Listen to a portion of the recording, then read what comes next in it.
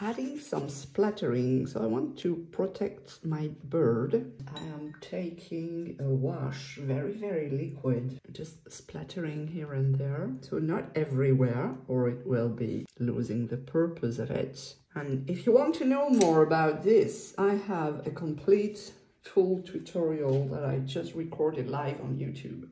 and you can watch it you have the link in my bio